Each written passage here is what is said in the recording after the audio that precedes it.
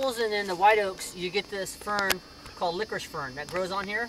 And you'll see it grows kind of in the folds and the moist areas by rhizome um, right here. And I'll just pick off some of the tops of this one. Goes underneath the bark.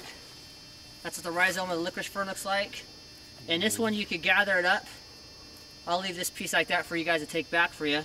But here's another one of it. And um, you just would clean this off, and this was really good for sore throats. Go ahead and clean it off a little bit and try a little piece. Go ahead and try a little piece. Want to try some? I've eaten lots of it. eat lots of it? Okay. Bob, hold the camera steady.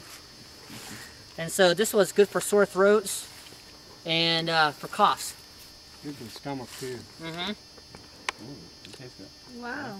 Yeah, and so that one helped coat your throat like another medicine, and that was off of the licorice fern. You could get get these, gather them, dry the roots, and any other time you need it, you could pound it up and make a tea. And that helps with your sore throat and stuff.